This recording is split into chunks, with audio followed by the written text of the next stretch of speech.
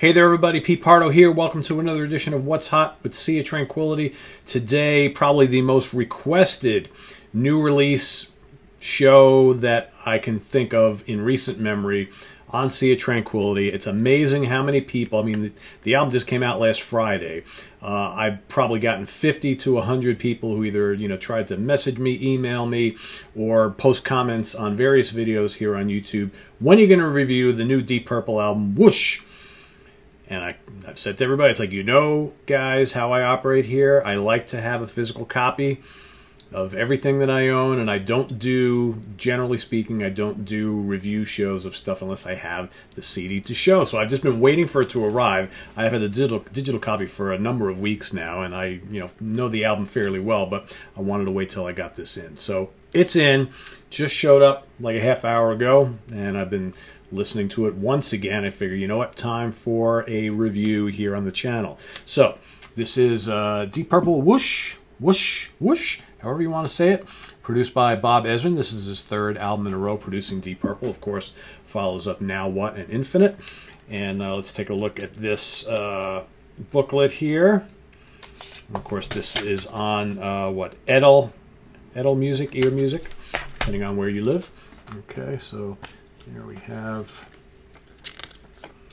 the album, CD booklet, I should say. All the lyrics are here.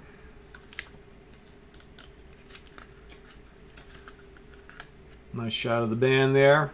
Okay, so of course, Deep Purple being at this point in time uh, Ian Paice, Ian Gillan, Roger Glover, Steve Morse, Don Airey, same lineup that's been together now for quite a while. And uh, for those of you who are stumbling upon this video and, and, you're saying, Deep Purple, I don't even I didn't even know they're still making new music.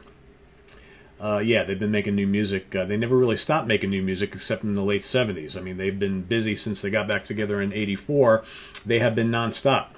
So uh, where have you been? All right. So uh, again, this is the third album with Bob Ezrin in the producer's chair, and uh, a very enjoyable album. Uh, I'll leave it up to you guys of whether you think that this or how this stacks up to the two previous Bob Ezrin produced albums, or how well it stacks up to the Steve Morse era, which has now been going strong since like around 1995 or so. Starting with Perpendicular, so we've got a, a long list of albums now in the Steve Morse era quite quite a lot of really good ones. So let's take a look at the album here. So on the CD, it's they got separated into Act One and Act Two. Uh, a lot of tracks on the album, thirteen as a matter of fact. So it's a just under an hour. Uh, most of the songs are between three and five minutes. Nothing here is relative, you know, too long. Uh, good songs a lot of good stuff on here. So let's talk about first. Uh, there's the rockers, right? So it's Deep Purple. So of course, you know, Deep Purple is a hard rock band. I know I've, I've seen some people in, in recent days looking at reviews on the on various places on the internet, and people like, oh, they're not heavy anymore, and blah blah blah. Guys, they're in their late 60s, early 70s. Uh, they still rock pretty hard considering, but if you're looking for, you know, in rock or Machine Head, I mean, they're not that band anymore, right? Doing, you know, I still think they're pumping out some great music, all things considered, 50 some odd years later, right? Uh, the Rockers on here. So the kickoff track, and I believe was the first single, is Throw My Bones. Excellent song. Good guitar riffs, swirling Hammond organ. Uh, nice guitar solo, great vocal from Ian Gillan. Great song that starts off the album. Drop the Weapon, another cool soon, kind of, another cool song kind of bluesy, kind of funky. It's got good groove. You know, Ian Paice and Roger Glover just blasting away there. Really like that a lot. Uh, We're All the Same in the Dark is a very cool tune. And again, it's got lyrics that kind of really hit home with all that's going on in the world right now about how we're all the same. Right, we're all the same. Never mind the color of your skin, or never mind the matter, you know, what sex you are, all that kind of stuff. We're all the same. We're all just people.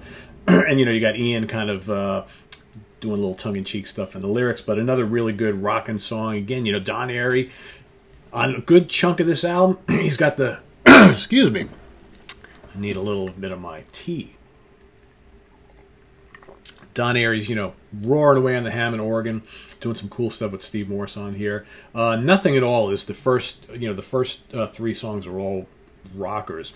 Uh, Nothing at all is a little bit different, a little more a little more playful melodic. It's got this really cool Steve Morse kind of like almost like Celtic type guitar lick at the beginning, and it runs throughout the song.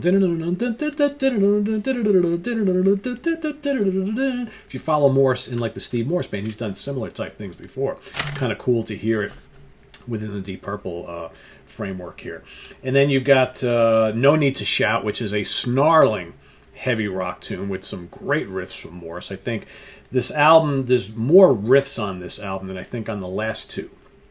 I know, and I talked to Steve, you know, a month, month and a half ago, and you know, he's he has said that Bob Ezrin tries to, you know, kind of contain him a little bit on the three albums they've worked with him, and I, you know, you you get the get the feeling that Steve is a little frustrated by that, but I think he gets ample room here to solo and unleash some cool, memorable riffs, and uh, I like this album because of that.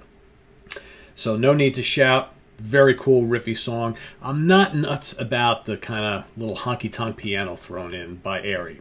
One of the things I, I, I don't like, especially in Deep Purple music, is that kind of like boogie, you know, my buddy Martin Popoff calls it barroom boogie honky tonk piano type of thing. And it's, it's like there's a couple tunes where Don's doing that here. Not big on that, but I think overall, no need to shout. Really good heavy rocker, one of the heavier tunes on the album. Then you got uh, Step by Step so there's a couple tunes on this album that are a little, they're almost kind of like outliers. They're a little bit different, and Step by Step is one of them. It's just kind of this weird, kind of moody, slow number, kind of plodding, kind of ominous sounding. For me, it never really goes anywhere. Uh, you know, and that that finishes off Act One. Okay, which I guess if you have the LP, that's the end of side one of the LP. Uh, for me, Step by Step is the weakest track in the first half of the album. It just, I don't know, it just hasn't grabbed me yet. It's just kind of slow and just kind of meanders along, and I, I don't know, just not a lot of fire to it. Not terrible by any means. Uh, then you got uh, What the What, which, without a doubt, is my least favorite song on the album.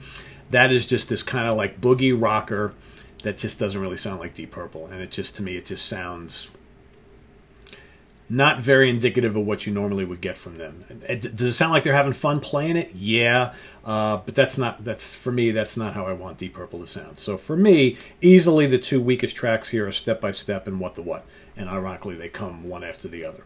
All right, but the long way round, another killer hard rock gem with some killer and amazing trade-offs between Morse and Airey I think they're working very well together on this album, which is good.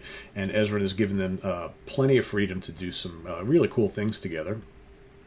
Uh, you've got The Power of the Moon, which is another one of those really different songs on this album that, that just kind of vary from the formula, but I think it really works here. So this is this kind of like atmospheric, kind of proggy number, kind of dark and moody. It's got this really interesting like spoken word vocal from Gillan. And uh, it just really, really works for me in a way that step by step doesn't work. And I think uh, the Power of the Moon is kind of the like kind of like little mini prog epic. I think it's like five and a half minutes long uh, on this album. A lot of nice keyboard textures from Don, and I think it's just a, a very well crafted, like I said, atmospheric song on this otherwise very upbeat and lively album.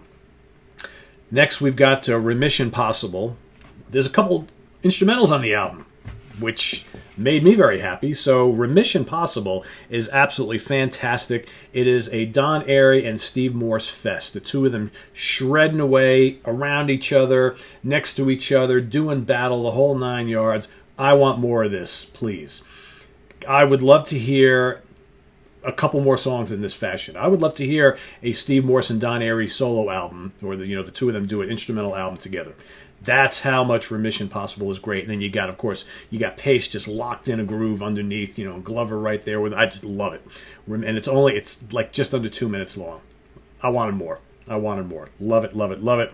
Uh, then you got Man Alive, which is a smoldering kind of like bluesy funky rock tune, right? It's got some really, really good uh, Hammond organ. Just it just kind of smolders and simmers percolating, very, very cool, lots of groove. Dig Man Alive a lot. And then you got And the Address. And I remember, like, as soon as the first time I heard this, I was like, wait a second, I know that song.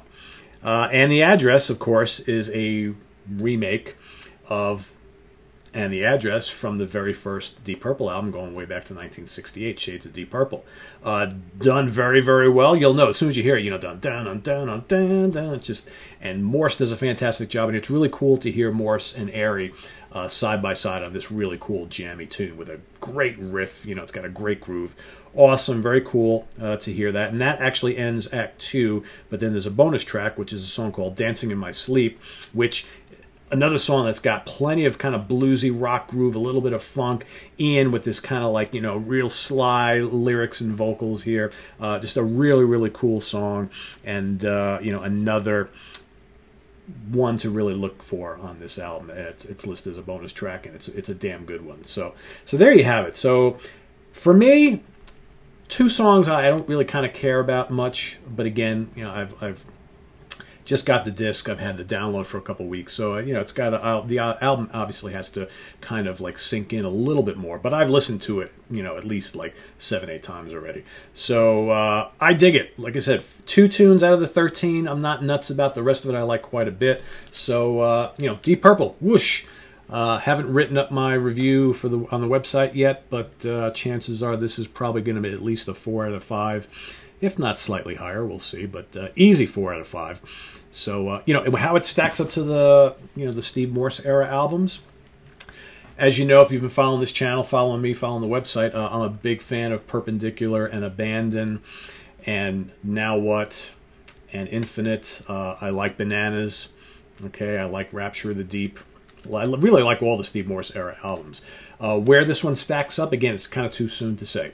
Uh, I think based on just having this for you know a little while, uh, I still think now what is my favorite of the Bob Ezrin albums. Uh, I like Infinite a lot. We'll see how much I like this one compared to Infinite. I don't know if um, this one's going to kind of resonate with me as much as Now What, because Now What for me is right up there with Perpendicular as one of the best of the Steve Morse era. Um, but I like this a lot. I mean, it's it's Deep Purple. It's got the you know the, the great Hammond organ. It's got the sizzling guitar riffs and licks. It's got Ian Gillan telling his his strange little stories. It's got the amazing rhythm section of Paice and Glover. Uh, I dig it, and I, the production is, is very very good. Uh, as as you know, always with uh, Bob Ezrin. So there you have it. Whoosh by Deep Purple. If you haven't gotten it, I would say go out and get it. Um, it's definitely going to rank pretty high for me, I'm sure, uh, at the end of the year when we put our list together. Uh, you know, so far, you know, there's um, well, we're past mid-year already now, so you know, the New Testament, the New Kansas, those are some a couple of the ones that are man have just been playing constantly all year that I know are going to rank pretty high. So we'll see. This will probably be up there somewhere, I would assume, uh, but. Uh, obviously, we have quite a few more months to go. So, uh, curious to see what you guys think uh, who have the album, who've heard it, and I'm just warning you now. If you're going to be someone who's going to post something in the comments like Deep Purple stopped being a band in 1977, uh, I mean, come on. It's like if you haven't given any of this stuff a chance, then don't comment like that.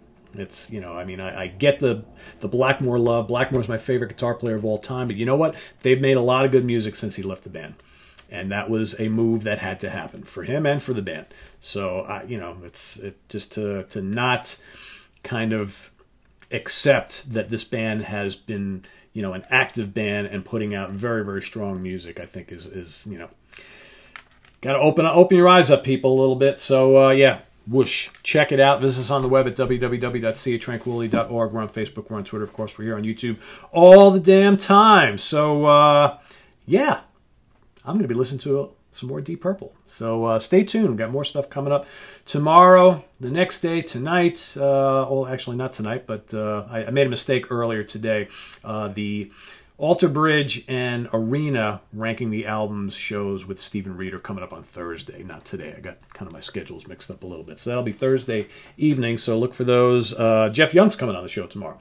Jeff Young and I are going to do deep cut dives with The Who, and with Chicago, the Terry Kath era. And for a couple of you who asked questions, they're like, Pete, we haven't seen a deep cut dive show in two days. Um, yeah, I'm going to be doing them a little bit less. I'm still going to be doing them, but I'm not going to be doing them five days a week going forward because I think uh, I'm kind of looking to move on to other other topic areas and other show formats, but I still have a bunch that I want to do, but I'm going to spread them out a little bit. So we're going to be doing every day. You're going to be seeing the uh, DVD, Blu-ray, concert film recommendations because we had a lot of people asking for that during COVID. Right? People can't see live music. What do I recommend that you watch? Uh, you know, on YouTube or on Blu-ray, DVD, or what have you. So that's what we're going to be doing like every day for you know Monday through Friday for the foreseeable future. Um, but uh, a lot of cool stuff coming up. Uh, with just confirming with Martin Popoff, who's joining me on Deep Cut Dive of ACDC on Friday. We got a really cool rant we're working on for you next week, so stay tuned for that. I'm not going to kind of divulge it yet.